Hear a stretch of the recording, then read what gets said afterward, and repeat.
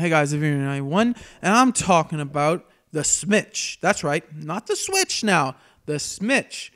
The Smitch is the knockoff console for the Switch, and this looks just way too close to the Switch, in my opinion. In fact, when I was when I looked at the box on Review Tech USA's video, I actually read Switch and not Smitch, I believe, when I saw the box art because it just looks so dead close. So, what does this console do? Well, it's a retro console. Basically, plays a bunch of games, over 800 actually.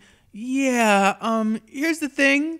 I understand when someone gives you a retro console and it's over 800 games that they've most likely jailbroken the console or whatnot, but this is supposed to be like semi legit here. Even on the article, it says it's designed to play illegally obtained classic ROMs from the early to late 90s. So I don't understand.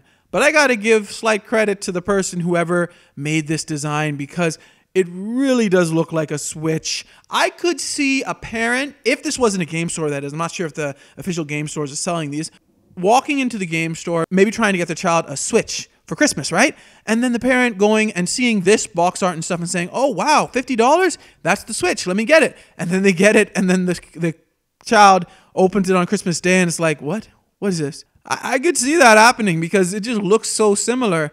It's amazing that we haven't heard of any like sue from Nintendo yet because this seems like copyright. We'll just have to wait and see. What do you guys think about this console, about the look, about the games and everything? The controllers are actually still using AAA batteries. Let me know in the comments below. Thanks for watching, like, subscribe. May God bless you all.